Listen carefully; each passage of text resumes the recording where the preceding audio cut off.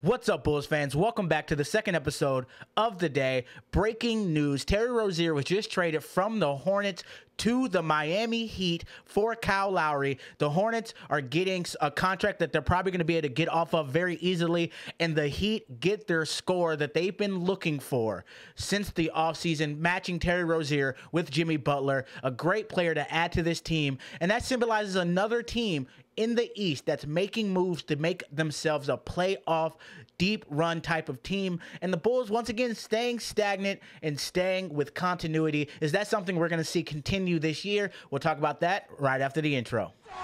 Give me the hot sauce, Welcome to the Let's Talk Bulls podcast, your number one Bulls podcast in Chicago.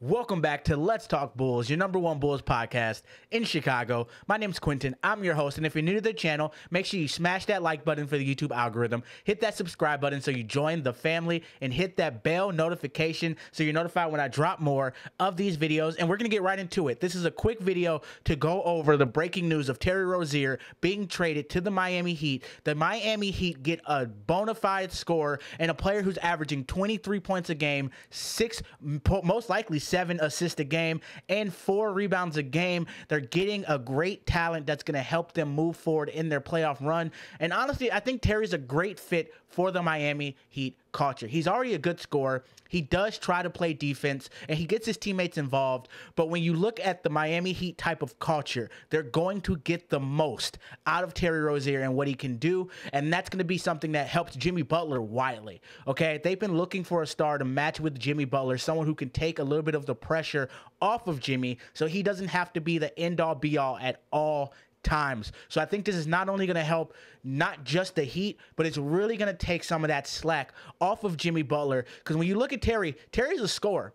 The man can make the ball go in the net. He is one of the league's people where you never know what's going to happen. He could go off. He can get hot just like that. And that's something you got to watch out for. And him having a player like Jimmy Butler who wants to pass him the ball, who wants to get teammates involved. I definitely think it's going to help Terry take his game to the next level. I see great things for him on the Heat. And honestly, at this point, it sucks to say, but I'm a Heat culture fan. I love seeing people go to the Heat. I love seeing what the Heat can do to players. So this is going to be a great signing that really pushes them to a new level in the playoffs and maybe helps them push themselves a little bit closer to contending for another title. Now that takes me to the next thing I want to talk about. The Heat made a move. Milwaukee also made a move firing their coach. Um, even though they're one of the best teams in the league, they fired their coach. They're moving on. We can't do that because well, we don't know how long Billy Donovan is going to be here because none of us know what his contract is. But this is one of those things that really show you that other teams have been making moves, whether it's coaching, whether it's playing, whether it's trades, whether it's signing people. They're trying to get better. But it seems like the Bulls are just stuck right? We keep hearing the same word continuity, continuity, continuity. We want to see what we have. And at this point, yes, Coby White's been playing amazing. He's been stepping it up and becoming arguably one of the best point guards in the league at the current moment in his stretch. Maybe not next year, who knows? But right now, he's really making a great point to being most improved, having a chance of making an all star game, and being one of the best shooters in the league. But the issue here is Coby cannot do it all himself. Patrick Williams is slowly developing. The Bulls are looking to trade Zach. They're maybe getting rid of DeMar. They might be getting rid of Caruso. They may be getting rid of Lonzo Ball. There's so many maybes and ifs and what ifs. But the issue here is we're not seeing the Bulls do anything. And as a Bulls fan, it's something that gets on your nerves. Now, this isn't something where I'm like other Bulls fans who are diehard, the sky is falling Bulls fans, as Hayes likes to call them on Chicago Bulls Central. I don't think that because the Bulls aren't doing anything right now, I don't think that means they've never done anything, right? The Bulls have made great moves, right? They got Vooch at the trade deadline. They went out and got DeMar. They went out and got Lonzo. They went out and got Caruso. They made a lot of moves to make this team a contender, but those things didn't work out. And what we're seeing is the Bulls have struggled to figure out what to do now that those things have failed. And we're in a consistent state of shit right now.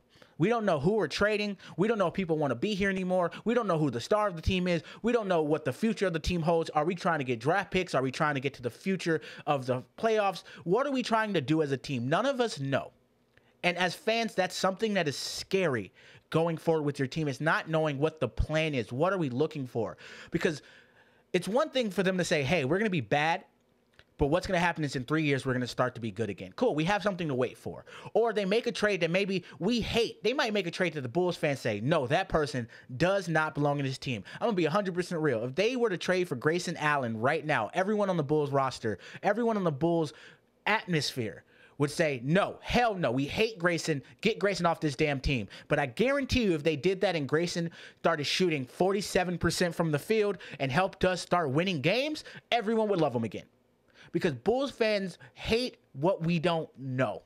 Right? We always complain whether it's a good thing or a bad thing. We complain about every move that's being made. Either it's a good move and we complain because we don't see it yet, or it's a move that we say is going to be terrible, or we think it's going to be amazing. It's always us complaining. It doesn't matter what happens. So we have to kind of sit back at this point and see what AK does.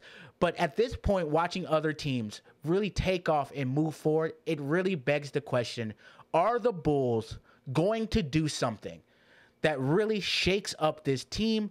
Or are we going to once again sit back and hope for continuity and hope that we are a team that just develops into a championship contender. With that, what I want to do is I want to hear from you guys. What do you guys think about this team? First, comment below. Let me know what you think about the Terry Rozier trade. Do you think he'll fit well with the Miami Heat? Do you think that culture will help him go to new heights? And second, do you think the Bulls will stay pat at the trade deadline. Do you think we'll trade Zach or do you think we're just going to keep him? What are your thoughts? Leave them down in the comment section. Once again, this is the second video of today. So if you guys are rocking with the channel, make sure you hit that like button, hit that subscribe button, and keep following these videos. Share it with a friend. We're trying to get to a thousand subscribers by the end of the year. We're taking this to the new heights. We're going to be the number one Bulls podcast on YouTube, and we're going to keep bringing you this ESPN style quality each and every week. With that, y'all have a great day. Hopefully, we got to talk again today about the Bulls not doing something.